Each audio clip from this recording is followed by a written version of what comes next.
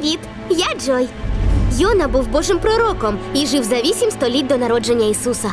Я єврей, і боюся я Господа, небесного Бога, що створив море та суходіл. Ось фреска Мікеланджело із Сікстінської капели.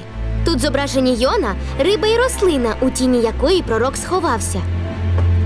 У Біблії говориться про пророцтво Йони Єровоаму, другому цареві ізраїльському. Йона передбачив, що Ізраїль буде розширюватися і процвітати. Цю печатку, яка належала слузі царя Єровоама II, археологи знайшли у 1904 році. На ній написано Шема, слуга Єровоама.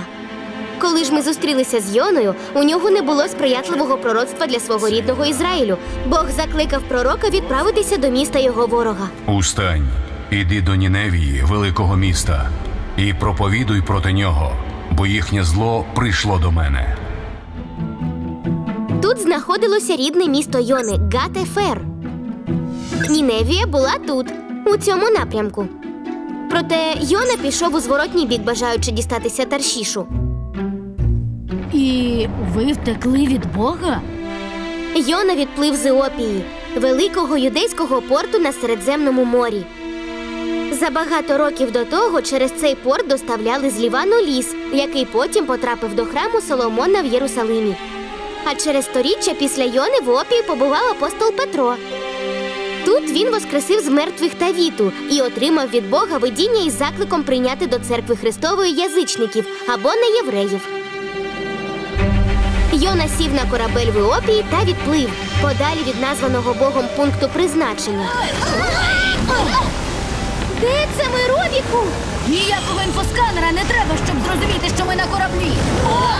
Кораблі Таршішу будувалися для перевезення великої кількості вантажів і плавання у штормових водах. Ось зображення таршійського корабля на фінікійському кам'яному саркофазі. Матроси на кораблі Йони злякалися, що усі вони загинуть під час бурі. Я знаю, що ця буря сталася через мене. Тому моряки викинули Йону за борт. На камені цього римського персня третього століття вирізаний сюжет про Йону. Добре видно, як пророка кидають з корабля. І хоча після того, як Йону кинули за борт, шторм припинився, пригоди самого Йони лише починалися. Після того, як гігантська морська істота виплюнула Йону, Бог знову підтвердив покладене на пророка доручення. Устань, іди до Ніневії, великого міста, і проповідуй до нього те слово, що я говорив був тобі. Йона усе ще не бажав іти до Ніневії, що цілком зрозуміло. Адже це місто було столицею Асирії, ворога ізраїльтян. Ніневія стародавнє місто, що знаходилося на території сучасного Іраку, приблизно за 800 кілометрів від Гатефера, рідного міста Йони. Археологи виявили руїни Ніневії періоду її розквіту з кілометрами фортечного муру, фрагментами міського палацу і безліччю зображень, які розповідають історію царів Асирії. Ніневія була діловим центром на перетині двох торгових шляхів. Жителі Ніневії. Господь Бог мій послав мене повідомити про його суд над вашим містом, тому що побачив він беззаконня ваші. Людей торкнулося попередження Йони. Пророку, ми чули твої слова. Ми оголосили піст і позодягали верети. Ми сіли на попелі, аби показати, що просимо вибачення. Бог пробачив ніневітян і зберіг їхнє місто. Він дбає про усіх, навіть про своїх ворогів, і прощає тих, хто кається. Якщо я приймаю милість від Бога, то маю бути милосердною до інших. Я отримала гарний урок.